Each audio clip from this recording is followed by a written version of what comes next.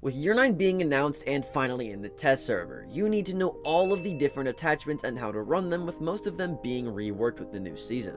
First of all, let's go over all of the changes to the scopes. Before the new season, the scopes were classified into no scope, 1x scope, 1.5 times scope, 2x scope, 2.5 times scope, and 3x scopes. With the new year update, this classification system changed. Now you have the iron sight. You have all of the 1x sights that were in the game. These didn't change at all. You have the magnified scopes, or 2.5 for short. And then you have the telescopic scopes, or the 3.5s. It's simplified more to a better point of understanding, and each classification of scope comes with its own buffs and nerfs that are new to the game. The iron sight, or having no sight, makes you ADS 10% faster on all weapons you have it equipped, although it's on some guns way harder harder to see people and not worth running. The 1x scopes makes you ADS 5% faster, and most if not all of these scopes with center dots in the middle of them got thicker center dots so it's a little bit harder for you to see people which makes it much easier for you to run to different scopes instead of just having a Holo A meta.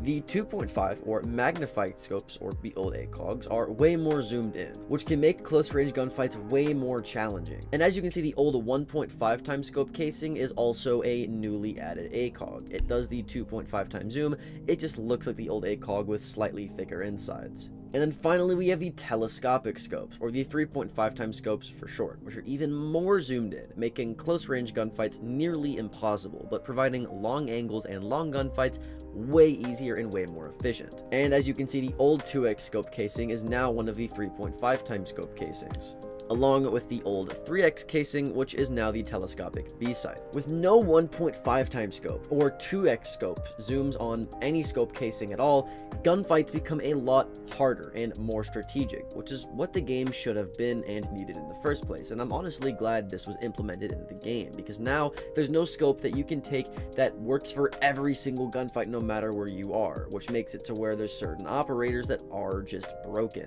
This is really problematic in the game in the first place place because you had people picking operators like Warden specifically for the scope and not at all for the gun. But with that out of the way, let's go over the gun grips. Now as you can see, there are a few changes. You have the vertical grip, which didn't change at all. It just reduces the overall vertical recoil of weapons. Then they have the newly added horizontal grip, which makes you ADS faster. But wait, wasn't this the old angle grip's job? Well, it was. But now the angle grip just makes you reload faster, which has its own unique and uses that are pretty fun on some weapons, and I'll go over that later. Now finally, let's go over the barrel attachments. None of these got changed, but just because it's an ultimate attachments guide, I'll just briefly go over them anyways. The flash hider makes vertical recoil much easier to control, similar to the vertical grip on the grip section, and it hides the flash of bullets coming out of your gun. The compensator reduces the recoil of bullets horizontally instead of vertically like the flash hider. It's essentially the perpendicular opposite of what the flash hider is. It's much more useful for console players as controlling horizontal recoil on a joystick is much harder than a mouse. Next is the muzzle brake. This barrel greatly reduces the recoil of the first bullet out of your gun every time you spray from your gun. It's great for single shot firing for this reason, as logically speaking, it would then reduce the recoil of every shot that you take as long as there's no bullets after, but that's not its only use. There's some weapons where the first 1 to 2 bullets are much harder to control than the rest of the magazine, like Jaeger's gun, or sometimes Finka LMG, or the R4C, which is why some people have adapted to putting it on their gun as well. Next is the suppressor. This makes the gun barrel much quieter and takes away the directional indicator of your enemy's screen so they don't know where they're getting shot from on their HUD.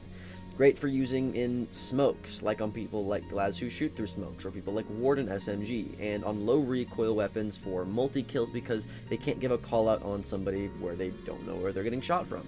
Last but certainly not least is the extended barrel. This attachment is very simple. It just slightly increases the damage of every bullet that comes out the gun. It's good for shotguns, or on high damage, low rate of fire weapons that you're holding angles with. It's pretty nice, but only on some certain weapons. Now, with the barrel attachments gone, let's go over some new content from this season, which is the underbarrel laser. Now, this isn't new, they just completely reworked it. What this used to do is reduce the hit fire bloom of bullets while giving you a laser that you and enemies could see.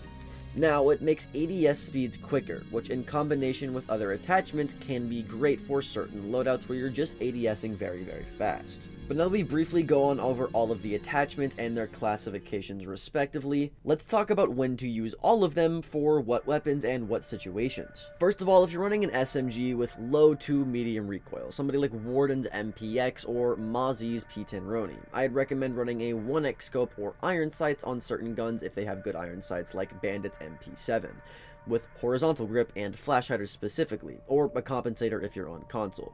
I find that extended barrel damage doesn't mean much when you're using a gun class meant to hit heads anyways, and suppressors don't ever do much either because you can still pretty easily hear and see where you're getting shot from. Instead, use the flash hider to get more consistent with your aim much easier and reduce the recoil so you have the ability to safely run the horizontal grip and lower magnification scopes for your ADS time. SMGs naturally are great for swinging people, so an attachment class that allows you to do this is amazing. However, if you're one of the operators that has an SMG with the ability to run an ACOG, this is what I recommend. Run your preferred ACOG, whether it be the A, B, or C. Then run it with a vertical grip and a flash hider, or again, a compensator if you're on console. Because of how magnified your scope is, the recoil is harder to control because of the nature of what the scope does, and these two attachments will make the recoil seem like you're running a 1x scope, and it's much more consistent and easy to aim with, and you can get much better use out of the 2.5 that you're trying to spawn peak or hold angles with. However, let's move on from SMGs. If you're running an AR, which honestly is more common on attack and SMGs are more common on defense besides that, then here's what I recommend. 2.5 times scopes, if it allows it, with flash hider and vertical grip, for the same reason you run those two attachments with the 2.5 on the SMGs on defense. Optionally, if the gun has little recoil, like let's say Sledge's AR for example, you can run the horizontal grip for ADS speed, because as an attacker when you're swinging things, you're going to need that sometimes.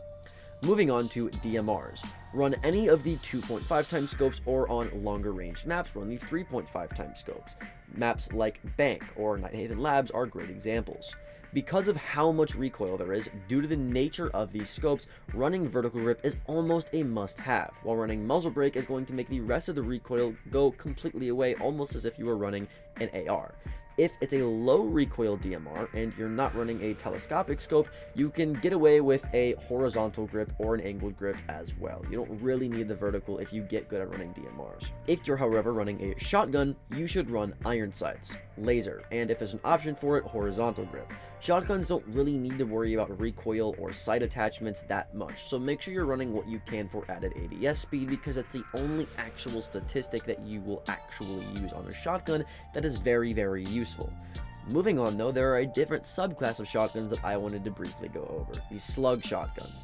This will completely depend on which slug shot you're running, so I'll go over all of them right now. If you're running the TCSG on either Kaid or Goyo, you should run a 2.5 times scope, or optionally a 1x, with a vertical grip and a suppressor. If you're running the ACS-12 on either Alibi, Maestro, or Azami, you should run the 2.5 times scope with the vertical grip, pretty similar to the TCSG. And then finally we have the Boss G. Now, for this one, it's a bit weird, but let me explain. You'll want to run the angled grip, the laser, and then a 1x scope or a 2.5 times scope.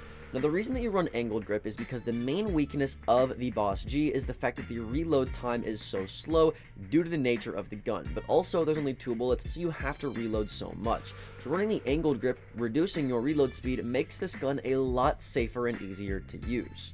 Because you're reloading so often, you have to ADS after you reload, which makes running a laser just naturally not a bad idea. Now the reason I said you want a 1x scope or a 2.5 times scope is because if you run a 1x scope, it makes you ADS even faster with a 5% increase. Now personally, I love the iron sights on Boss G. That might be a hot take, but it seems pretty clean to run, so I'll honestly do that over a 2.5 unless it's on one of those bigger maps that were aforementioned in the video. Moving on from the slug shotguns, let's talk about LMGs. For LMGs, you'll run angled grip for reduced reloads because they have some of the longest reload times in the entire game. You'll use compensator on most LMGs because there's a lot of side-to-side -side recoil, or flash hider for some that don't like Finka LMG, and then the 1x scopes.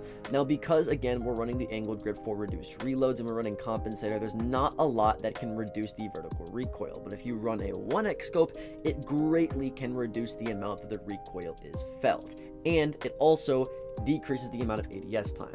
Now because of the fact that you move 10% slower with LMGs with the new update, the reduced ADS time with the laser and with the 1x scope can make it a lot more forgiving to do this. Now one thing I briefly wanted to mention about weapon classifications is they added a few. Namely, they added a new class called the Sniper class, purely for documentation purposes, but because it's a technicality, I'll go over it a little bit quickly. Just go over something that reduces the recoil, or in Glaz's specific case, run the suppressor if you're good at the game and you're going through his smokes. Now, for pistols, you're going to run muzzle brake and laser. If you're on your pistol, that means you've already dumped your entire mag on your primary, so worrying about them knowing where you are from a laser doesn't really matter because they already know where you are due to the fact that you just dumped an entire mag on them. And then muzzle brake, obviously, because it's a single shot weapon. Also, there's secondary shotguns. Secondary shotguns, you don't really have any attachment options other than running a laser or a scope don't run a scope. You don't really need to. Just have no scope and get the faster ADS time. And then honestly, I wouldn't recommend running a laser either,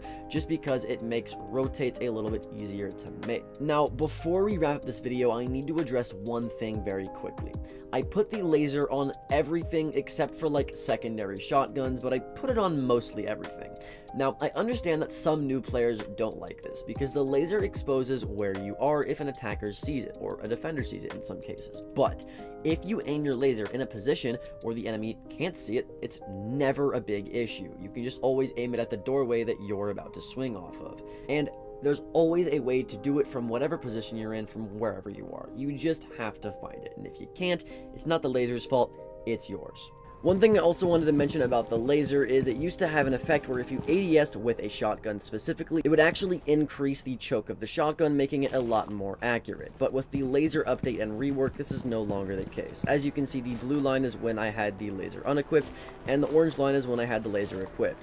The bullet pattern is still random, but the actual choke size is the exact same. So this fun little update actually is out of the game, and for that matter, I bet you the 1.5 headshot multiplier for lasers is probably gone too. But I still think it's worth running on most weapons that aren't secondary shotguns. But with that out of the way, my name's Alka. Check out this next video, sub to the channel down below, and I hope we'll see y'all there. Later.